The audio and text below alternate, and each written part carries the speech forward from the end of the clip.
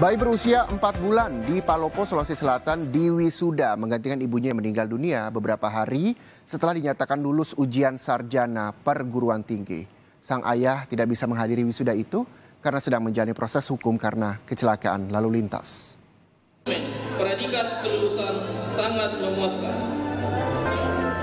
Wisuda adalah momen yang paling dinanti setiap mahasiswa yang telah dinyatakan lulus ujian perguruan tinggi.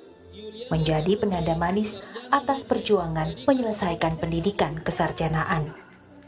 Wisuda di Universitas Andi Jema atau Unanda, Palopo, Sulawesi Selatan pada Senin 8 Agustus kemarin menjadi istimewa dan penuh haru. Dari 525 wisudawan, salah satunya adalah bayi berusia 4 bulan, Kimberly Batari Fadilah Reza. Bayi perempuan ini diwisuda menggantikan ibunya Citra Fadilah Arsyad yang meninggal saat melahirkan Kimberly pada Maret 2022 lalu. Beberapa hari setelah mengikuti proses yudisium yang menyatakan dirinya lulus ujian perguruan tinggi.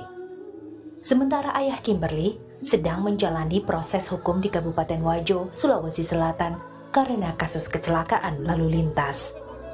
Sama seperti wisudawan lain, Kimberly yang digendong neneknya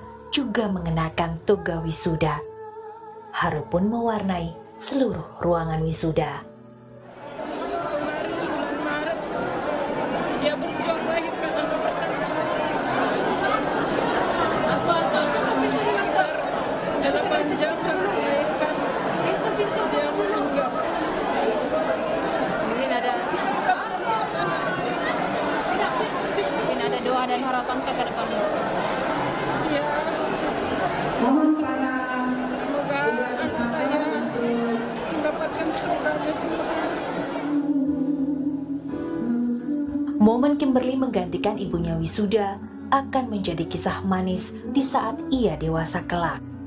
Doa sang ibu akan terus menyertai setiap detik hidupnya hingga kelak ia juga diwisuda dan siap menyongsong masa depan.